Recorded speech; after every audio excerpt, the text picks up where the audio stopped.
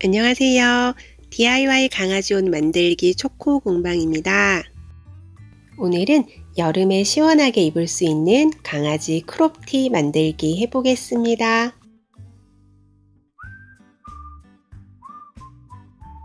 끈 원피스 패턴을 준비하시는데요. 끈 원피스 패턴은 네이버 카페 초코 공방에서 무료로 다운로드 가능합니다. 끈 원피스 패턴 을 조금 수정해 줄 텐데요.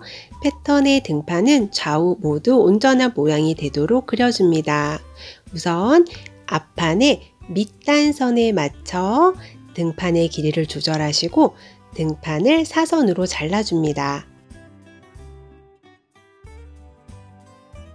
재단할 때는 목둘레와 진동둘레 밑단선에는 시접이 없고 나머지는 모두 1cm 넣어줍니다.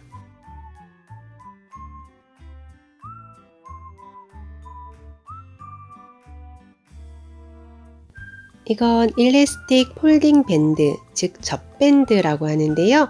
고무줄 같은 탄성이 있고 반으로 접어서 사용하면 됩니다. 원단을 재단했을 때 모습인데요. 등판에는 사선으로 절개해 주었는데 사선 방향은 본인이 원하시는 쪽으로 해주시면 됩니다. 먼저 등판의 사선을 안끼리 마주보게 놓고 박음질 해줍니다.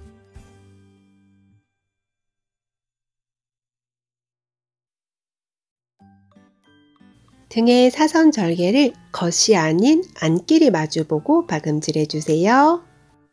안끼리 마주보고 박음질해서 솔기가 밖으로 보이게 됩니다. 이제 이 부분에 젖밴드를 달아줄 거예요. 젖밴드에는 골지 모양이 있어요. 이 부분이 겉이 됩니다. 이 젖밴드로 시접을 감싸서 박음질을 해주시는데 박음질에 자신이 있으시다면 앞서 해주었던 사선 절개 부분의 박음질 없이 등판과 젖밴드를 바로 한 번에 박음질 해주셔도 됩니다.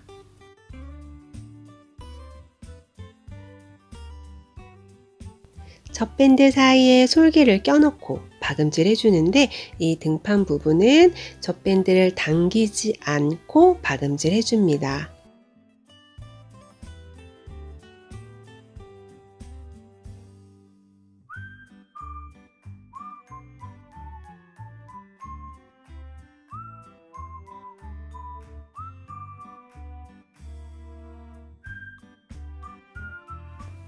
등판의 젖밴드 박음질이 끝나면 튀어나와 있는 부분은 잘라주시면 됩니다. 목 부분도 라인에 맞춰서 잘라주세요.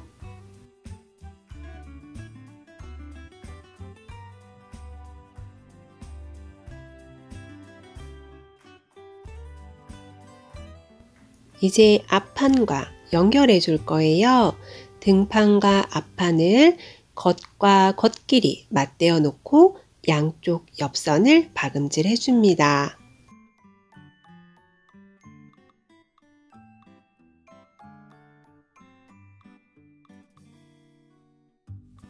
앞판과 등판을 겉끼리 맞대어 놓고 박음질 해줍니다.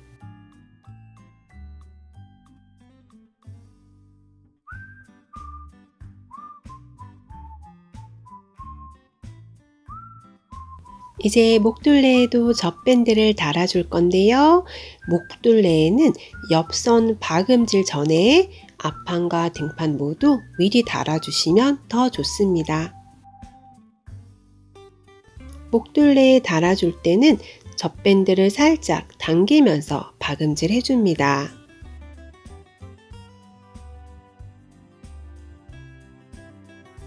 젖밴드를 목둘레나 진동둘레 같은 데 달아줄 때는 바이어스처럼 달아주면 되세요. 그래서 시접을 따로 넣어주지 않습니다.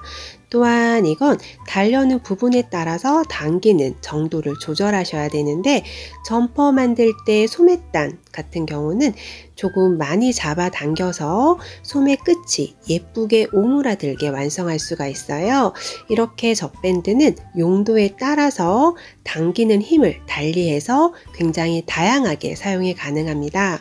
강아지 옷 목둘레에서는 원래 길이의 85에서 90% 정도가 되도록 당기면서 박음질 해 주었습니다. 엽선과 목둘레선이 완성된 모습이고요. 목둘레에는 젖밴드를 이용해서 신축성이 있습니다. 이제 진동둘레에도 젖밴드를 달아줄 텐데요. 이 부분은 옆선에서부터 시작할 거예요.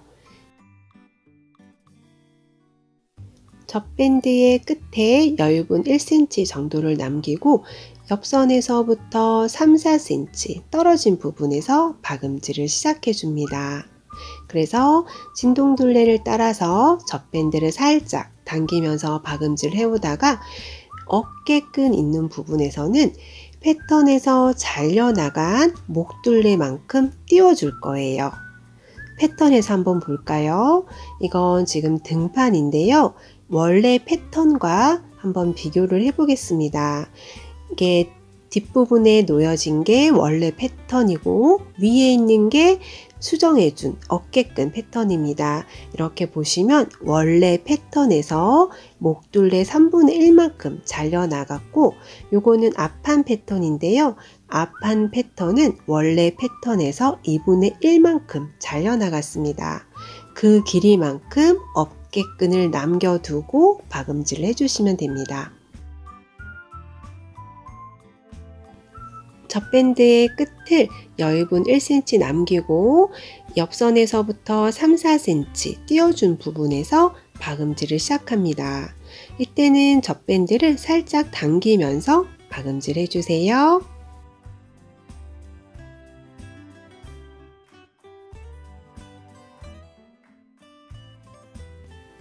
이제 어깨끈 부분은 우리 기본 패턴에서 잘려나간 등판의 3분의 1과 앞판의 2분의 1만큼 띄워주고 다시 박음질을 시작합니다. 이때 바늘은 내려와 있는 상태에서 박음질을 이어가야 하는 거 잊지 마세요.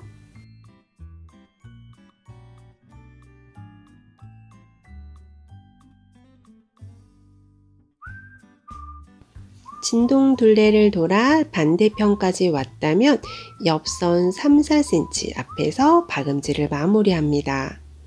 그런 다음 젖밴드를 겉과 겉끼리 마주 보도록 놓고 이어줄 거예요.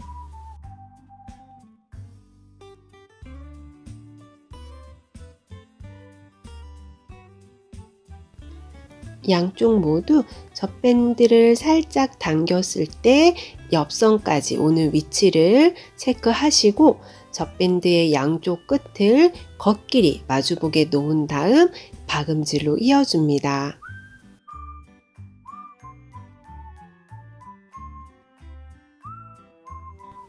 그런 다음 박음질된 젖밴드는 가름솔 해주고 옷의 옆선 위치와 박음질 위치를 맞춰준 다음 나머지 남은 부분도 박음질 해줍니다.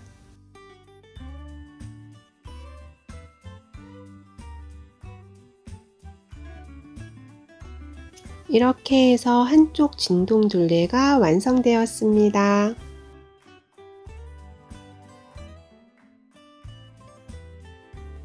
반대편 진동둘레도 같은 방법으로 젖밴드를 달아주시는데요. 옆선에서 시작할 거고 여유분 1cm 남긴 상태로 위치시켜 주는데 옆선에서 3, 4cm 띄운 위치에서 박음질을 시작해 줍니다. 진동둘레에 달아주는 젖밴드는 살짝 당기면서 박음질 해주시면 되고요. 어깨끈 폭은 반대쪽에 남겨두었던 그 띄워준 어깨끈 폭과 동일하게 띄워준 후에 박음질 이어가시면 됩니다.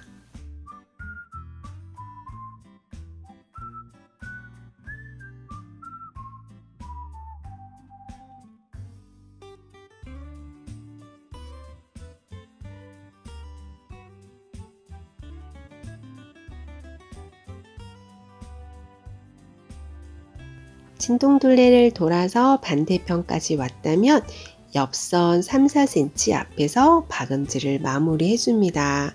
그런 다음 남은 젖밴드는 잘라주시고 젖밴드를 겉과 겉끼리 마주보도록 놓은 다음 하나로 이어줍니다.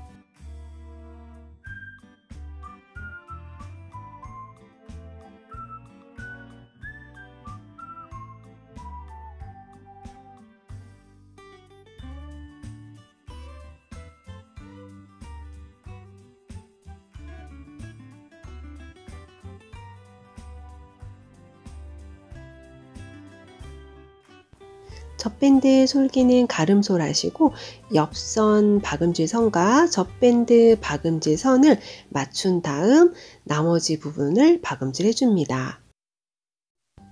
크롭티가 거의 완성되어 가고요. 이제 밑단선에 젖밴드만 달아주면 끝입니다. 밑단선 젖밴드는 많이 당기면서 할 경우에는 아랫부분이 오므라 들게 될 거예요. 그리고 당기지 않은 상태에서 하게 되면은 이 모양 그대로 유지가 될 거고 그래서 아랫부분 밑단선에는 원하시는 대로 당기는 정도를 조절해 주시면 됩니다. 밑단선의 젖밴드 박음질도 진동둘레와 마찬가지로 옆선에서 시작할 거고요. 열분 1cm 남겨둔 다음 옆선에서부터 3, 4cm 띄운 위치부터 삥 돌아가면서 박음질 해줍니다. 저는 밑단선은 아주 살짝만 당겨주었어요.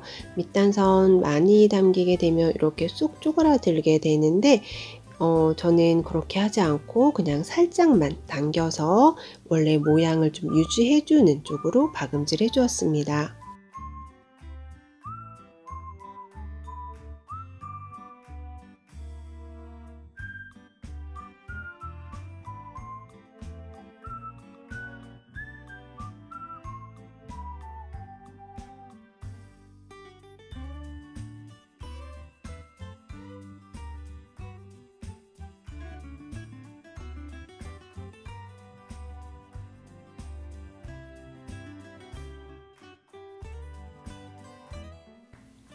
마무리는 진동둘레에서 했던 것처럼 젖밴드를 겉과 겉끼리 마주보고 이어준 다음 옆선 맞춰서 박음질 해주시면 됩니다.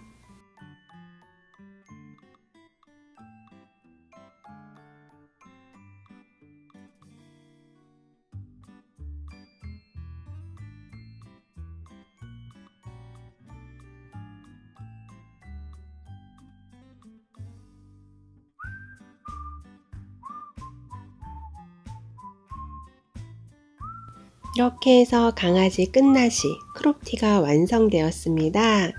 어렵진 않으셨나요? 이 영상이 도움이 되었다면 구독과 좋아요 알람 설정 잊지 마세요. 감사합니다.